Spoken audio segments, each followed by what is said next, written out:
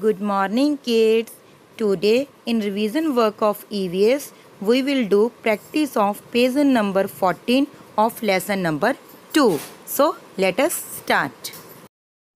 Kids, this is page number 14 of My Living World. First of all, if this page is not complete on your book, you will complete it. Then, according to heading number 3, as you know, there are pictures of cleanliness objects. Kids, we used many objects to clean our body. So, you will revise names of these objects with spellings. Okay? Then, you will do practice of matching of cleanliness objects with body parts. इसमें बेटा सबसे पहले हैं cleanliness objects की pictures और उनके name जब हमने लेसन रीड किया था बेटा तो उसमें हमने बहुत सारे क्लीनलीनेस ऑब्जेक्ट्स के बारे में रीड किया था। तो यहाँ पे उनकी कुछ पिक्चर्स दी हुई हैं। आपने इन पिक्चर्स की पहचान करनी है और उनके नेम लर्न करने हैं विद स्पेलिंग ओके बेटा, आपको पिक्चर्स का नाम पता हो, आपको पता हो कि क्लीनलीनेस ऑब्जेक्ट्स कौन से होते हैं और उनके स्पेलिंग भी लर्न हो।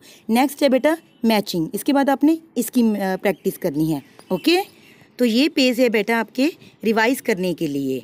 आपने इसको, इसके स्पेलिंग जो है बेटा, अच्छे से अपने रिवाइज करने हैं।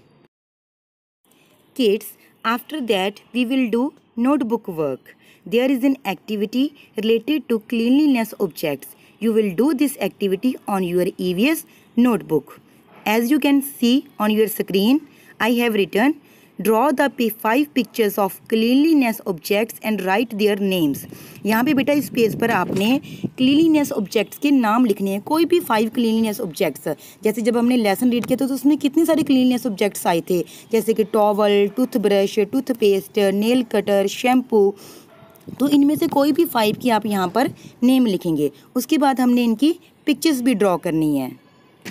किड्स क्लीनिनेस ऑब्जेक्ट्स के नेम लिखने के बाद बेटा, आप जो भी नेम लिखोगे क्लीनिनेस ऑब्जेक्ट्स के, उन्हीं में से किसी भी फाइव की पिक्चर्स आपने ड्रॉ करनी है। जहाँ पर आपने नाम लिखे हैं, उसके सामने आपको प्लेन पेज दिख रहा होगा।